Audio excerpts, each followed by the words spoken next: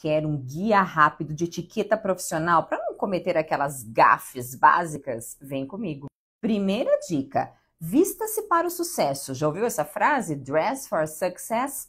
Imagina que hoje você trabalha em uma área, só que o seu sonho é ter um outro cargo.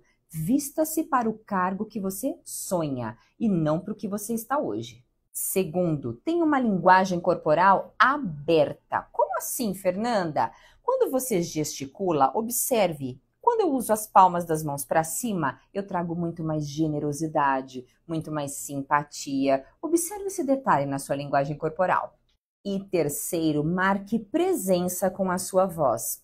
Por que você diz bom dia? O bom dia não é só uma regra, um protocolo, é quando nós realmente desejamos um bom dia para as pessoas. Então, por que você fala bom dia, boa tarde, vamos almoçar? Coloque vida nas palavras. Bom dia, boa tarde, muito obrigada pela presença. Vamos almoçar?